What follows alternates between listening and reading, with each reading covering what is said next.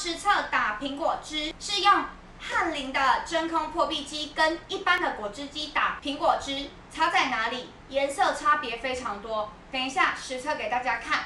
现在准备来开始做实验喽。现在我们用按果汁机，就是按摩跟用按真空破壁按果汁有什么差别？把苹果切碎倒入，然后加热水，加入杯水，你高温暖水，真空哦，真空杯跟真空杯来，来倒热水，好，这样子它，进来，哇，这个有是很好，然后这个是有冲有油这样，然后之后把放上去，这边按这个真空杯，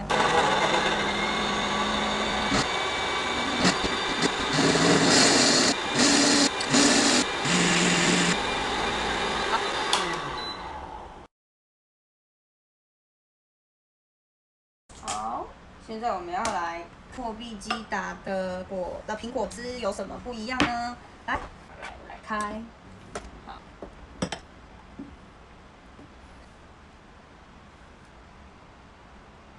杯是翰林真空破壁机打出来的，这杯是一般果汁机打出来的。大家有发现有什么差别吗？劲拉一下，劲拉一下，是不是这一个它比较没有气泡，然后而且它也没有像这样子分层，就是勾勾这样分层打不散的感觉，然后气泡又很多，然后再来就是你有发现它氧化速度很快，你仔细看一定感觉出来，这一杯比较深，这一杯已经很合色了，变很合色。来近拍，来镜头近拍，这个假不了，这没办法骗，这个已经呈现非常深，这个没有作假，同一个同一个光下拍的。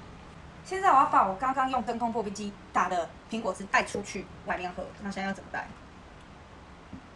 一样要让它真空保鲜，不然在外面一下没喝完它就坏了。好的，一样按这个按真空就好，中间这颗按真空就好哦，真空就好。再按，好，开始抽真空。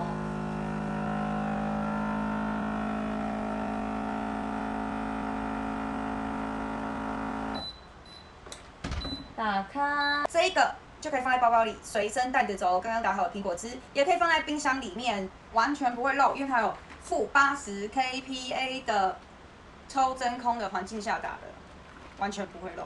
你可以把它放在包包里面，带去外面喝，上班的时候喝，中午午休喝都可以，超赞。